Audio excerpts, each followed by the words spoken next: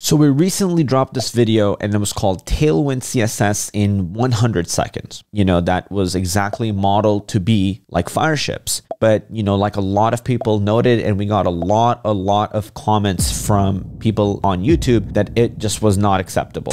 What's up guys? How's it going? Qazi here from Clever Programmer. This is a different type of video. I don't usually do videos like this, but there are a couple of things that I believe need to be addressed. So that's what this video is for. So we recently dropped this video and it was called Tailwind CSS in 100 seconds. A few days later, Fireship dropped his version, which was Tailwind CSS in 100 seconds. This whole series is Fireship's like way of doing videos. He has a whole series called In 100 Seconds. And so we dropped one, you know, that was exactly modeled to be like Fireships. You know, we were inspired by the idea, the title, the thumbnail, and then we made our own original content in that video. But the parts that are really fucked up and we really messed up on is we used pretty much the exact type of thumbnail that Fireship uses in his videos. And then we use the same exact title. And, you know, we said in the description, this video is inspired by Fireship but you know like a lot of people noted and we got a lot a lot of comments from people on youtube that it just was not acceptable. You know Traversy Media commented and he was like this is sad. We had other youtubers comment and they were not happy with it. And of course fireship commented and said you know uh, this was a very clever idea shaking my head. Most of these people you know especially Traversy Media and fireship are youtubers that me and my team look up to. You know we're inspired by their content. I think everybody in the community community knows about them. You know, these are people that I have always, you know, looked up to in the community. You know, in the start of my journey, they've inspired me to actually start and to, you know, learn coding and then to teach coding. And I often find myself pointing people towards these channels. Hey, go watch content on these platforms. They have really good content out there. And so, you know, it's not fun to read comments where they're upset with you. You know, I'm not going to lie that that hurts and it's upsetting and you know, rightfully so because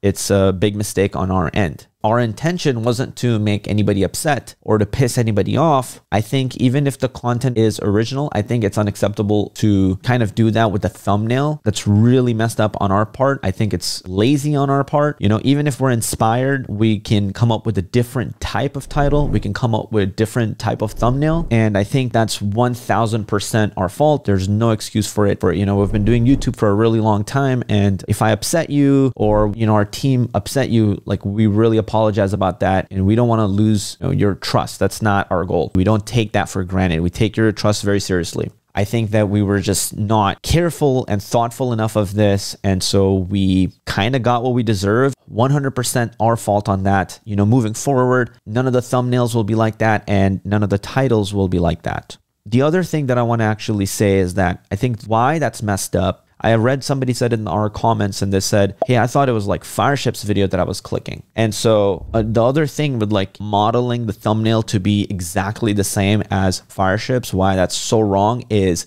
Fireship's audiences uh, essentially is getting clickbaited into clicking our video because they're thinking it's Fireship's video and then they're being hit with our video. And so you know it's wrong on many many different levels. And so that's why we decided to do is just like change the title on that video change the thumbnail on that video so fireship's audience is not confused with this stuff. Now I want to move on to the contextual portion of this, the overall context of what happened, why this happened in the first place, and uh, just give you more context around it. While we were working on this video, I know like Nas was working on this video. We had a bunch of people on from our team working on this video and they got together and they're like they're actually inspired by fireship you know and they were like um, you know i remember nas would be coming up to me and he's like hey fireship has this great type of content i think we should have some content uh, this style too where there's either somebody speaking and then there's animation over these videos are a little bit easier to make they don't take as long and they're valuable for people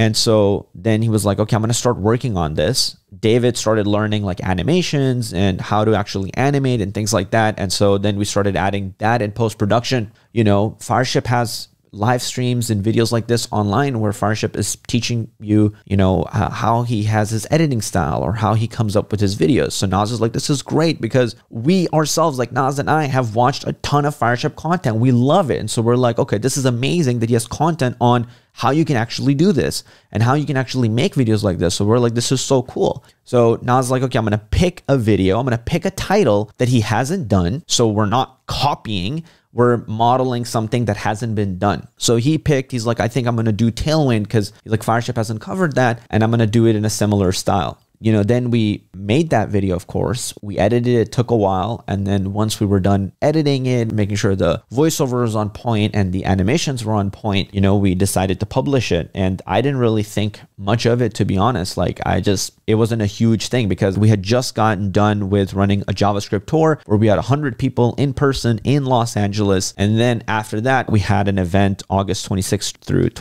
29th where we were doing a React intensive where we had people in person it was a React workshop. So my focus was, you know, a lot of our team's focus was on that. So we published the video. We didn't take too much time to think about this. As we're coming to the event on one of the first days, we see all the comments roll in and, you know, Fireship had dropped his comment and he was upset and Traversy Media's comment and he was upset. And then a few days later, this is also completely non known to us that Fireship was going to be dropping Tailwind a couple of days later. I had no idea. You know, Fireship dropped his Tailwind CSS, which was a much better version than ours because we modeled from him. So his version is like way better. We're like, holy shit, this is sick. And then that's what everybody in his comments is saying too. They're like, you can't out Fireship Fireship. This is amazing content. He's the original gangster. And all of this is true. We're, we're learning from him. It was crazy. Just so many people, so many upvotes on these comments. And we had no idea that this was going to kind of get out of proportion. And, and I saw this and I was like taken aback. I was like, this is a really big deal. Like we should actually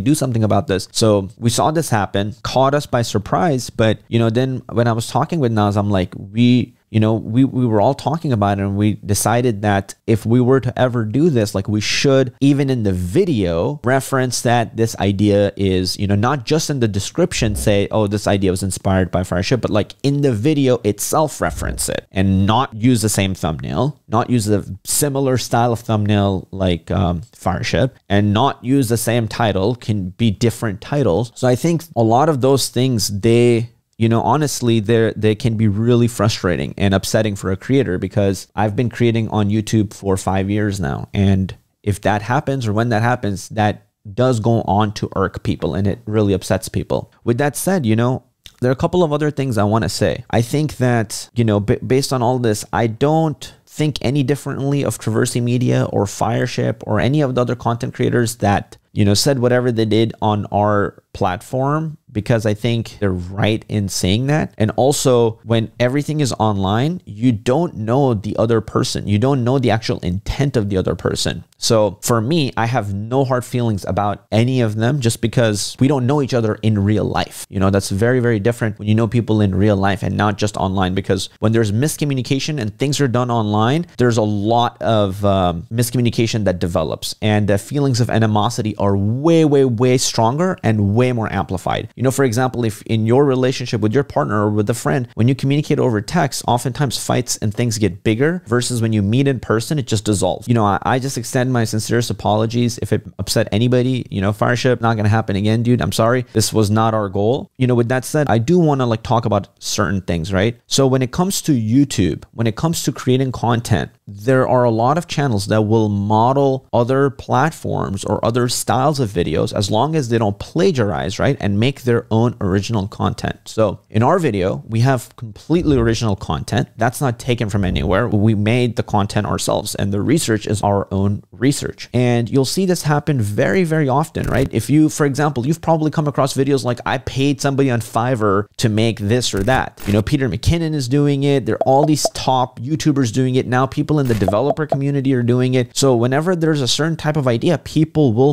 model it. People will create those types of videos. I've created a video before inspired by Fireship and, you know, everybody loved it. We didn't use the same title or thumbnail or anything like that, but that video is called My Advice to New Programmers. Number one, focus on the fundamentals. So many developers I see always trying to learn the hottest technology, the newest framework, the coolest thing that is happening around them. Stop. And it was way easier to make. It was way easier to edit. I just edited literally on my iPhone, and it's just how Fireship has his type of thing where it's like voiceover with animation. You know, I added all the animation, I added my own voiceover, and people really enjoyed it. So modeling content is there'll be like we'll drop a video like top five programming languages and there are a ton of other creators that will also drop similar videos. And i'm not saying we're original in creating top five programming languages. When you make a thumbnail or whatever people will start to make similar types of thumbnails even right and this is something that is normal um, you'll start seeing videos like if i started coding how would i start all over again somebody will make it they'll do well and then a lot of people will start making that but just sharing it from their own experience from their own perspective perspective. I hate that this apology sounds like it has a but. It really doesn't. I'm just trying to provide some context. I think the thing that's upsetting is that there's a signature style of videos that Fireship has. There's a signature style of titles and thumbnails. And I think those should never ever be copied because I think that's where the real problem comes in. And I think that really upsets people. But I think in terms of in the future, our content, we're planning to make a ton of tutorials, just like we always have been. We started doing the clones on our channel, and then tons of people started doing that. There's tons of channels out there that literally will have let's build a clone in blah, blah blah, blah, blah. And that was something we started April of 2020. And then all these channels started popping up and making builds. You know, going back to this, our upcoming content is going to be a lot more tutorial based. And then if we drop videos like this, we're not going to title them the same. We're not going to thumbnail them the same way. I think that's not okay. But I think in terms of content, I think that it's okay to make content with voiceover and then adding animations on top of it. I just think that it's not cool when, you know, somebody's coming up with the whole series and a whole idea and then another creator who just kind of, you know, models it to a point where essentially it just looks like copying. So Again, not our intent. It's messed up and we will improve. We will make it better. This won't happen again. There you guys have it. There's a lot going on on this channel. You know, on a more positive note, there's a lot of amazing things that are happening. We're going to be making a ton of tutorials. We just hit a million subscribers. So thank you guys so much. I'm going to be dropping a lot more content or I'm going to be dropping a video addressing that as well. So thank you guys so much. You know, there's a lot that's been going on in my personal life and, you know, I hope to get you guys caught up on some of that stuff as well, but I am doing a lot better now and much happier right now.